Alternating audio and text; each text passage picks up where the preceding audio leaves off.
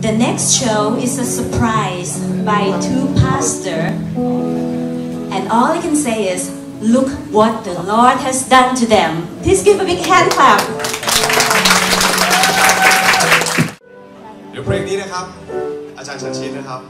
ศิษยาพิบาลของคริสตจักรเอ่อพระราชเชิร์จะขึ้นมาลีดกีตาร์โชว์ด้วยนะครับ ขอเสียงปรบมือด้วยครับ โอเค